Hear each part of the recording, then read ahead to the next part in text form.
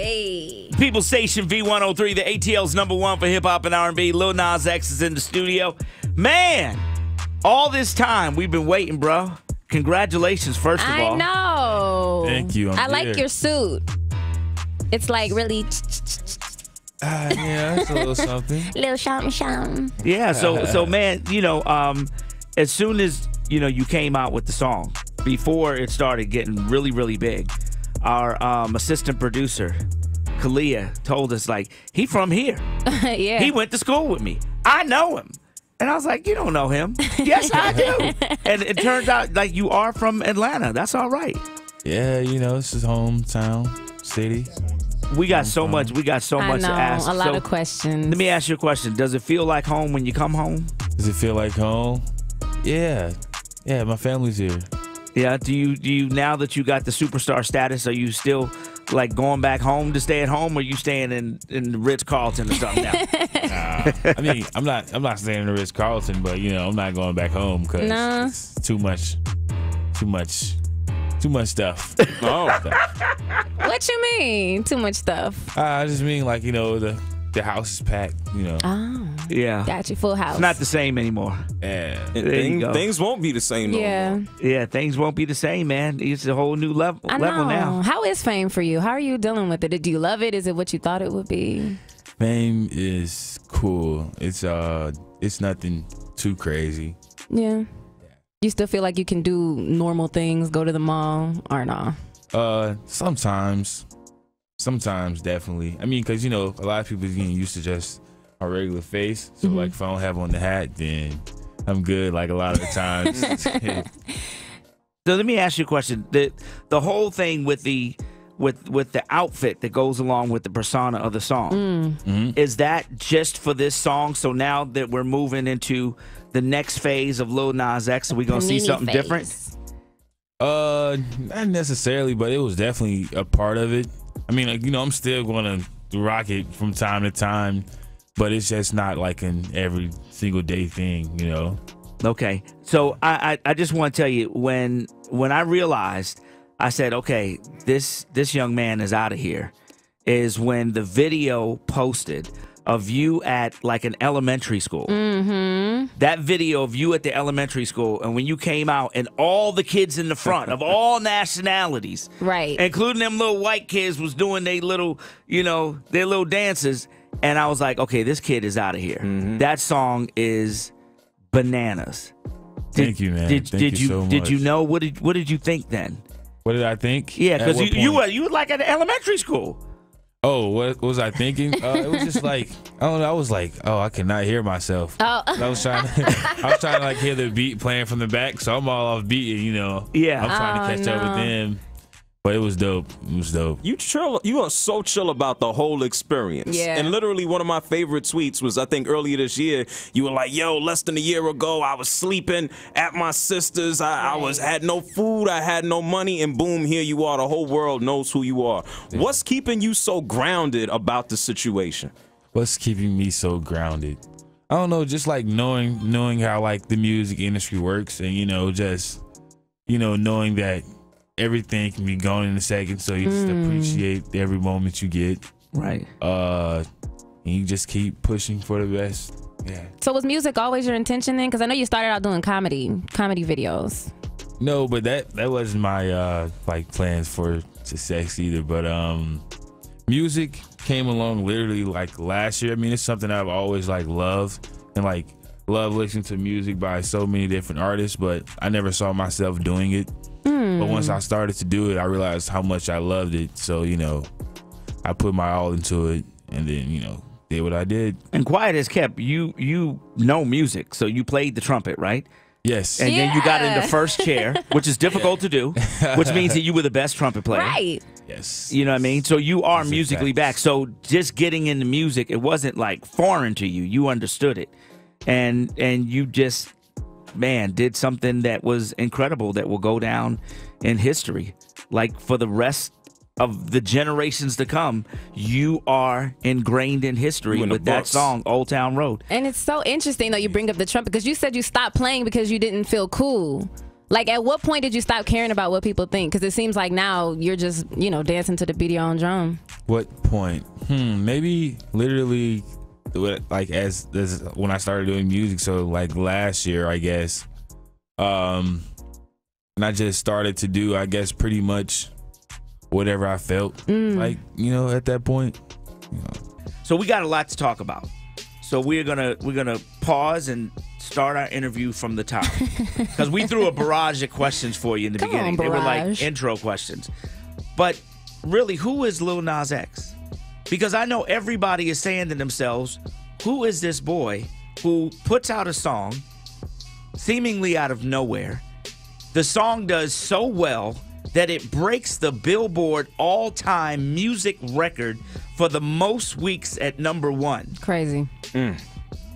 Who is Little Nas X? who is Lil Nas X?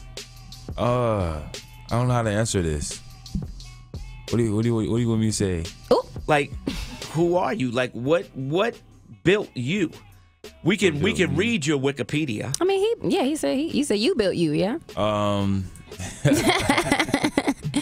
I am a social media kid who I don't know uh, found his way into the music industry, and things just went right. They went very right. So for so one of the benefits that we have on V103 is we have a wide range listening audience. So we mm-hmm. have from 5 to 50. So the younger generation understands what you just said because to the younger generation it's everything is at their fingertips. For sure. At that keyboard, the world is theirs. To the older generations, there is a process to get to where you got to. That process for the older generation, they were like, wait a minute. Like, you just all of a sudden one day said, I'm going to make a rap record. And then, boom, it happened. Mm, not necessarily. Okay, take us through it. Um. Wait, uh, like, like what, like what exactly? What do you? What, So, okay, so you're at your computer, and at first, you are a social media person. Yeah. What were you doing in social media? just like you know, posting memes and stuff, just like joking around on the internet, pretty much. And then that joking around took you to how many viewers? The joking around took me to like, like a couple thousand of followers. Okay. You know, and um, from there I started to make music last year, and then Okay, you skipping the part. Like What? you you you doing so much that that you have like a lot of viewers, not just a couple thousand. It's like you're getting huge with this persona online of who you are. What did you still have the same name back then when you were doing the memes on online? Would you would, was there another Nah, it was just like a bunch of different names, you know, different pages, you know, of stuff. Okay. Different groups of people following me. Uh, yeah, I don't, I don't, I don't know how to do this. I'm sorry. It's okay. It's okay. We're we're explaining it right here. So let me ask you this. So were you a introvert? Like you stayed home a lot on the computer? Because you know sometimes when when we see people that do that, they're like locked in their room at their computer. How much time did you spend on your computer every day? Probably like in high school, every time that I wasn't like at school with friends or something, I'll probably just be in the house on my phone. Mm. Yeah. Just doing it. Yep. Tapping. Okay. so then so then what made you decide to do a record? That made me to just decide. I mean, and, and was the record was it something that you did for entertainment purposes and you didn't know what you had created or was it something that you planned on doing like I, I did you wake up one day and say i'm gonna make a country record it's gonna be the number one country record in the world No, I started to do music, and Okay. like when I first started, it was just like I was just bored, leaving school for the summer, so I put a song up on my Twitter account, okay. And then um, you know, like my file was like, "Hey, uh, we like this, it's fire or whatever." So I was like, "Cool," and I just started to like do it like almost like every every other week or something, put a song up, and then um, around like my fifth song, I was like, uh, oh, okay, I really like doing this. I really feel like this is something I could, you know, thrive in pretty much. So around my 13th song, which was the song that blew up, uh, I was just like, okay, I gotta make something where it's gonna get, you know, some kind of attention, you know. Mm. Uh, I didn't know it was gonna get that much attention, but it, it did. So you know, yeah. did, did you and and I'm gonna ask you one question. We're gonna go to a traffic break. Did you when you started going from being the person that's putting memes up on social media to started making music? Did you build a studio in your house? Actually, actually, I did. You know, for the first couple of songs, um, me and my brother, who like build studios in my grandma's closet, uh, and, and that's what we used for like most of my songs at first. You Nice. use your grandmama's closet. Yeah, but then like once I got around to you know Old Town Road, like which blew up, you know, I was like, this song has potential. I was like, uh, it can't just be like any studio in Okay. home kind of thing. So I went to like the best quality, affordable studio I could go to at the time. Where'd you go? Uh, I can't think of the actual name of the studio, but you know, I know I was with this engineer named Cinco, and you know, he put it together and put the song out the same night. Yeah, I didn't even, I didn't even get it mixed because I I didn't have the money. The song wasn't even mixed when it came It's out. still it's still not mixed. Get like out of here! Now it's not that's mixed. wow. How much did you pay for studio time? Twenty dollars. Oh, Jesus. okay. Took a minute to get that twenty though. Okay. We are here um, dissecting this guy who has uh, taken the world by storm with a song that he didn't even know was going to be as big as it is. And it does. And, and here's the interesting thing um, the reason why I asked you those questions is because there are so many of you in Atlanta, kids that have these aspirations, and people are saying, okay, you're crazy. It ain't gonna happen. You're not gonna be able to do it. Did you have those type of people that were kind of like naysayers, or you were just so under the radar that nobody even paid attention? Uh, you know, I did have a couple of people, uh, but it was mostly you know online. Mm. Uh, a few in real life too, but they didn't exactly say those exact words. Okay. But you know, they all came around. Who was your biggest encouragement? My biggest encouragement, uh, definitely had to be my brother. My brother, um, you know, cause he before he went off into the military, like October before the song came out, he uh, like we went we built studios and stuff together. You know, found beats and you know he spent his money on equipment and stuff and everything, and always like like you know just told me like you know when he was liking something and when he wasn't liking something just being like 100 with it Yeah. uh you know and my dad always like making sure everything's like cool like even when i'm not out of school making sure my phone bills paid and you know i have somewhere to sleep even if he's you know a little questioning about what i'm doing Yeah. uh yeah. Because life life life takes that toll right? So you went to you you got out of high school. You went to was it georgia southern? I went to the university of west georgia. West georgia. Okay. Yes. and and you didn't stay long? I stayed for a year, and that was it. and why why'd you leave? Um, well, honestly, what happened was what had happened was? No, like uh, that year, uh, I'm so used to everything just coming so easy. So like for my math class, I kind of was just like you know just messing around for the first half of the year, and then like you realize you only get so many assignments. So if your grade is already down, you have to bring it all the way back up. Yeah. and I and I wasn't able to do that. So that summer I was supposed to uh, take like a summer online class for math, yeah pretty much, and that's kind of how like it like I had got. I was like, I'm gonna get to this next week, and I was like listening to beats on YouTube to make something for Twitter, and then um, that's kind of how I got into music in a way. But you know, so I want to I want to um, pick up the phone real quick. Because one of the interesting things was there was a uh, social media post um, by a woman named Nicole Oliver, and Nicole Oliver uh, is the web design teacher at Lithia Springs High School, Mm-hmm. and she says I've had many students tell me that they were going to make money with their music. My former student, Montero, has proven that this is why teachers and parents should never crush someone's dreams and ideas. And on the phone is your former teacher, Nicole. Good morning, Nicole. Good morning. You have him on the phone so you could tell him directly. Hello. How are you? Hello, I'm great. what about It's yourself? great. I'm great. Um, I'm, I just want to let you know I'm so proud of you, and um, along with all of your other teachers that were at um, Lithia Springs, um, like Miss Giles. I just spoke to her yesterday. I know you stay Oh, really? in contact with her. Yeah, we yes. still talk.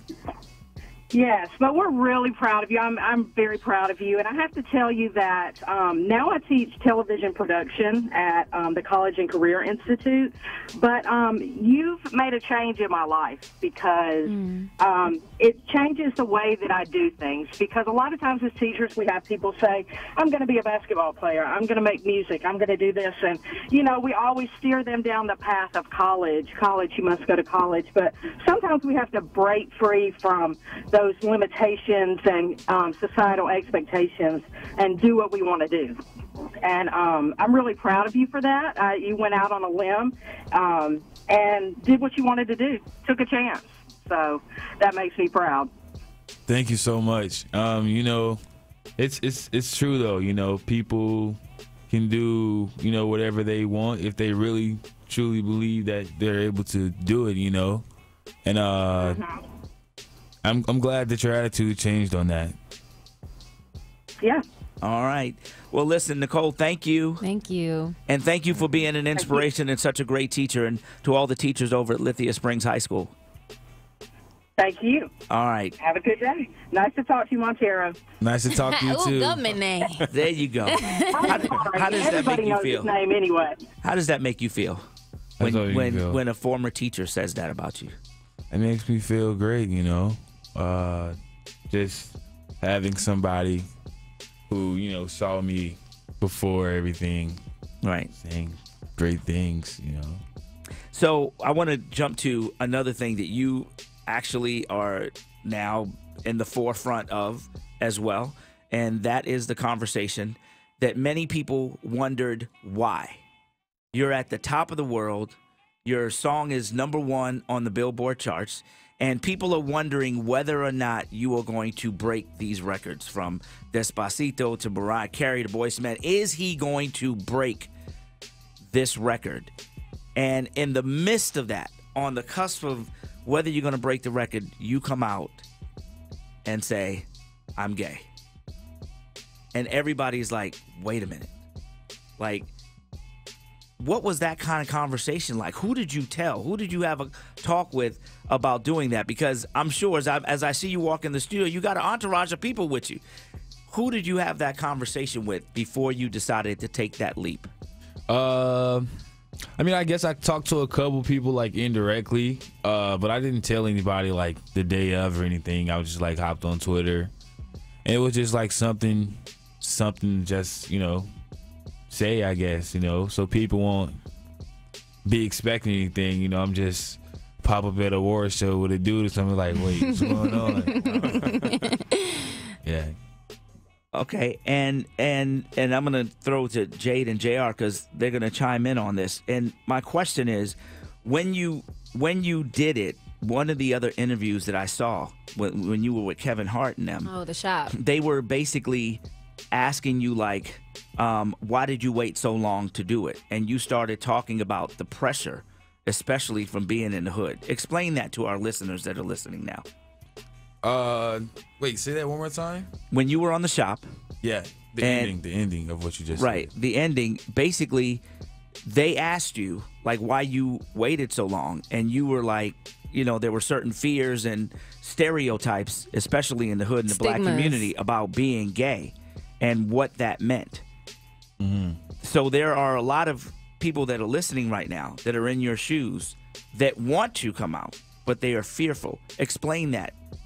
I mean, you know, like honestly, like you know, growing up, like nobody can lie. It's like it's like a joke almost. It's like a mm-hmm. joke. It's like Being gay is a joke? Yeah, it's it's a joke, and it's like everything's gay. It's like, oh, oh, why you do that? That's gay. You feel me? Like Right. stuff like that. So, Right.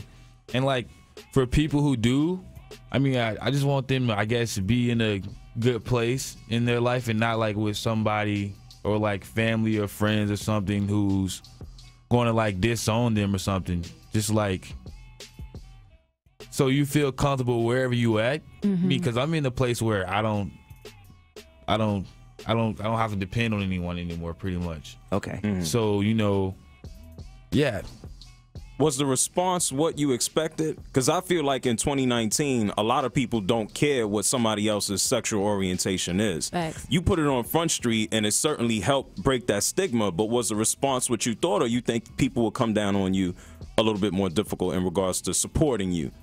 I mean, I guess I got the expected response. I mean, you know, mostly support. Of course, is going to be like a couple folks just like you know talking. I mean, it still is at this point, Yeah. and like making it about every single thing. Like you know, oh, that's what he meant by the horses and like stuff like that. I was like, People oh my are god, crazy, like, dog.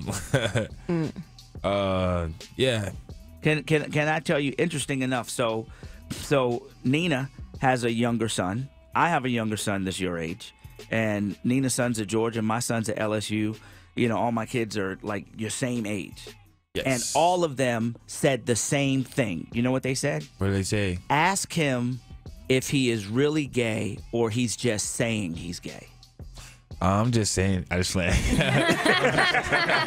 See, because everybody because they You're all said to me they all said he's a jokester on Twitter. Yeah, he I has said am- things before on Twitter that he didn't mean. He has done things to get the you know like you're an expert on social media. We addressed that in the beginning. Yes. So the question is to that generation that is your age that does not believe you.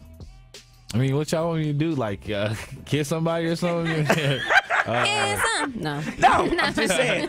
yeah, No. I mean, I mean, because a lot of people like still like say that, like, like, oh, like he's joking or or he's like doing it for clout or something. It's like, it's like no, it's like this not something you do for clout. Like, um, yeah, but it's the rumors are true. when did you know When I know, that you were gay? uh. this reminds me of a meme. Um, probably like I don't know when I was like real young, maybe. Okay.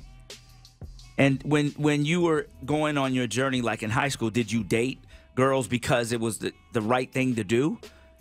Um, yeah, I, I dated not not necessarily, but I have dated girls. I have had like you know feelings for some girls, but like it was never like a um, I guess what like a love kind of feeling. I guess just Right. like a hmm.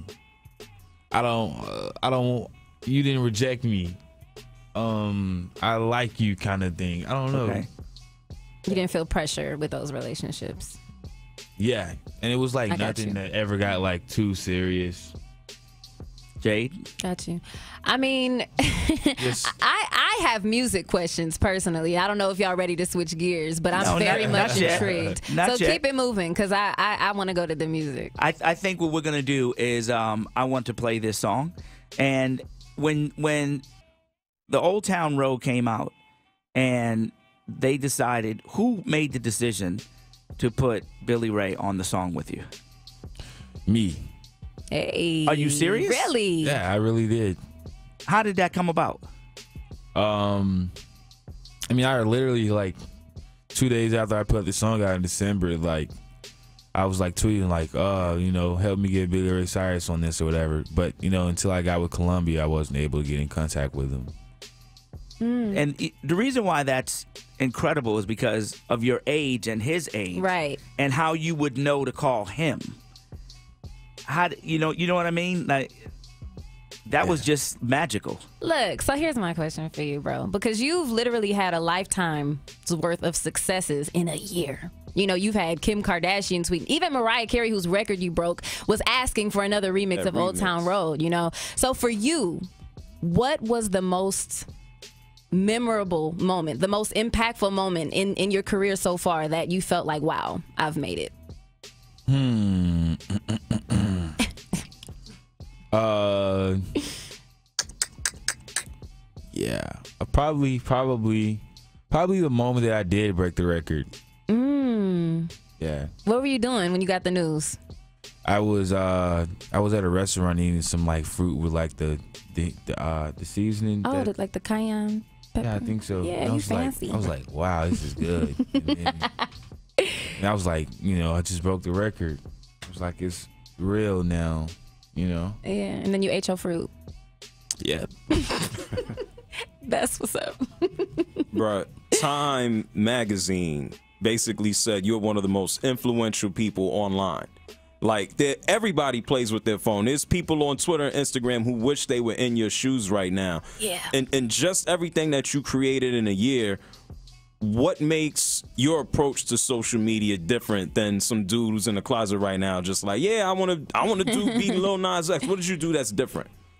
Um, I studied the internet. Um, I paid attention to you know current current events and everything going on in the world, and uh, I learned how to cater to different audiences, and uh, yeah, I was funny with it.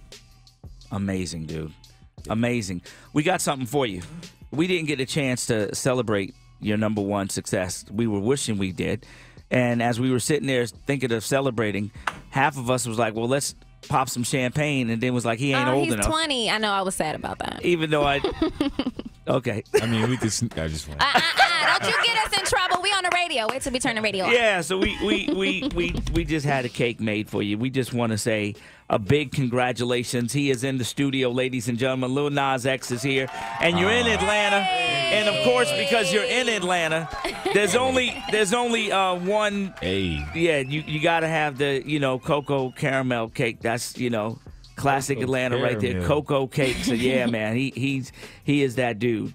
You know, so uh, we just wanted to say congratulations Yeah, and, and thank, thank, you, so bro. much. This Thank cake is guys. better than fruit with cayenne, baby. There it is. So let me ask this uh, last question uh, for myself. What has changed most about your life? What has changed most? I mean, I go where I want. I'm good. It's like uh, uh, everything's yeah, everything's like moving very quickly. I guess. And yeah, I, I really do like. I get to go to so many places now. Yeah. Besides, you know, just sitting around waiting to go back to school or back to the house or back to school or back to the house, like the same little cycle. Do you feel pressure now? Feel pressure. Yeah.